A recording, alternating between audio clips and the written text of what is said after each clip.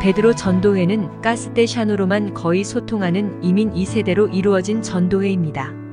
많은 자녀들을 주일학교에 보내고 있으며 미래를 짊어질 차세대 영적 지도자들을 잘 인도하는 것에 중요한 책임감을 느끼는 전도회입니다.